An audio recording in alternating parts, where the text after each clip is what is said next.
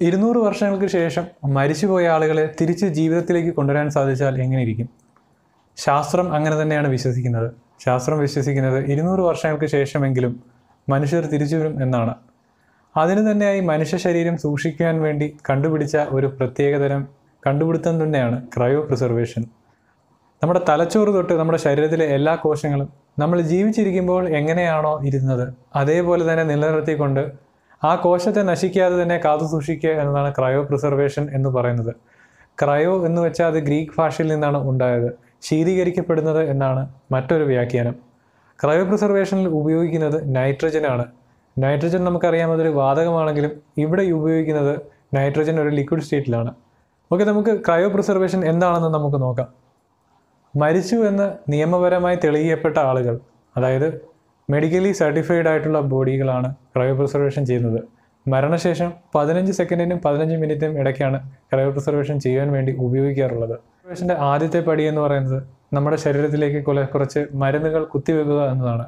ഒന്ന് നമ്മുടെ രക്തം കട്ട പിടിക്കാതിരിക്കുവാൻ വേണ്ടിയും അതേപോലെ നമ്മുടെ ഉള്ളിലുള്ള അവയവങ്ങൾക്ക് കേടുപാടുകൾ സംഭവിക്കാൻ വേണ്ടി ഇരിക്കുവാൻ വേണ്ടിയാണ് ഒരു മെഡി ഇഞ്ചക്ഷൻ എന്ന് പറയുന്നത് രണ്ടാമത്തെ ഇഞ്ചക്ഷൻ നമ്മുടെ ശരീരം പിന്നീട് തണുത്ത നൈട്രജനിലും അതേപോലെ ഐസിയിലും ഇറക്കി വെക്കുമ്പോൾ നമ്മുടെ ശരീരത്തിനുള്ളിൽ ഐസ് ക്രിസ്റ്റൽ രൂപപ്പെടുത്താതിരിക്കുവാൻ വേണ്ടിയുമാണ് രണ്ടാമത്തെ ഇഞ്ചക്ഷൻ ചെയ്യുന്നത്.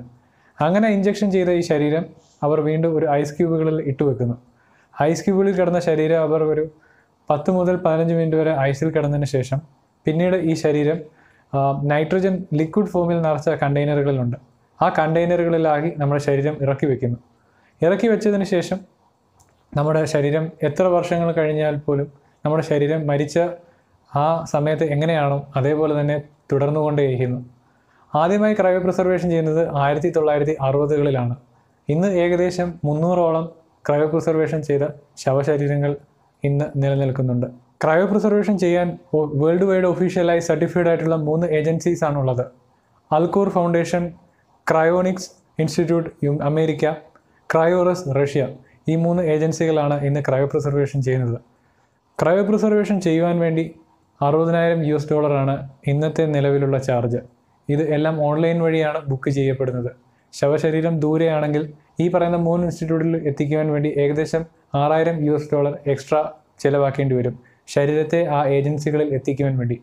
ഏജൻസികളിൽ ഈ ശരീരം എത്തിക്കഴിഞ്ഞാൽ പിന്നീട് അവർ ക്രയോ പ്രിസർവ് ചെയ്ത് നമ്മുടെ ശരീരത്തെ സൂക്ഷിക്കുന്നു. ക്രയോ പ്രിസർവ് ചെയ്യാൻ വേണ്ടി അവർക്ക് ബുദ്ധിമുട്ടാണെങ്കിൽ നമ്മുടെ ശവശരീരത്തെ എവിടെയാണോ നമ്മൾ മരണപ്പെട്ടത് ആശുപത്രിയിൽ വന്ന് നമ്മുടെ ശരീരത്തെ പ്രാഥമികമായി അവർ കുറച്ച് മരുന്നുകളൊക്കെ കുത്തിവെച്ച് നമ്മുടെ ശരീരത്തെ രക്തം കട്ട പിടിക്കാതിരിക്കുവാൻ വേണ്ടിയും നമ്മുടെ ശരീരത്തിലെ കോശങ്ങൾ നശിക്കാതിരിക്കുവാൻ വേണ്ടിയുള്ള നേരത്തെ പറഞ്ഞ രണ്ട് ഇഞ്ചക്ഷൻ തന്നതിന് ശേഷം നമ്മുടെ ശരീരം ഒരു ഐസ് ക്യൂബുകളിലേക്ക് മാറ്റുന്നു. ഐസ് ക്യൂബുകളിലാക്കി നമ്മുടെ ശരീരമാണ് പിന്നീട് ഈ മൂന്ന് ഏജൻസികളിലോട്ടും നമ്മൾ എവിടെയാണോ അയക്കാൻ ഉദ്ദേശിക്കുന്നതെന്ന് വെച്ച് കഴിഞ്ഞാൽ ആ ഏജൻസികളിലായിട്ട് അയക്കപ്പെടുന്നത്. അവിടെ എത്തിയതിന് ശേഷം നമ്മുടെ ശവശരീരം പത്തും ഇരുന്നൂറും മുന്നൂറും എന്നുവരെ ഈ ഏജൻസി എന്നുവരെ ഈ ക്രയോ പ്രിസർവേഷൻ ചെയ്യുന്നുവോ അന്നുവരെ ഈ മരണപ്പെട്ട ആളുകളുടെ ശരീരം ഒരു കേട് കൂടാതെയും ഇരിക്കുന്നു.